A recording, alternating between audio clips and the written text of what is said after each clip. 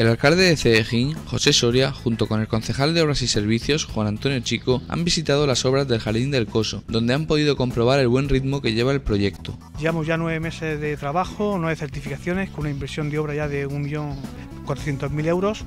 y que actualmente pues, se está trabajando en dos frentes, en el, Coso. Un frente que es lo que es la edificación, se tuvo que hacer lo que es el muro de micropilotes, la excavación del terreno y a partir de ahora pues, bueno, pues la cimentación, los pilares inclinados y actualmente se está trabajando en el forjado de, la primera planta del aparcamiento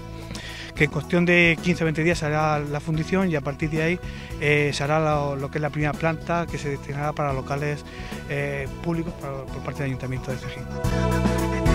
Por su parte, Soria destacó que las obras se han visto ralentizadas por las dificultades del terreno y las medidas de seguridad adoptadas. Los trabajos van a buen ritmo, aunque van un poco, no nos engañemos, van un poco atrasados. Pero claro, es que no es lo mismo trabajar, como se dice vulgarmente, a piso llano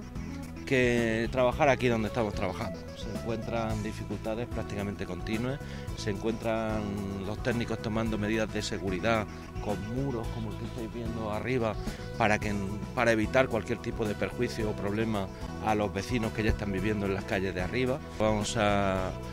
a rehabilitar un espacio grandísimo en pleno corazón del casco antiguo de Cejín necesario y además pues nos va a facilitar pues como decíamos hemos dicho en aquellos en aquellos momentos del inicio de la obra nuevas plazas de aparcamiento nuevos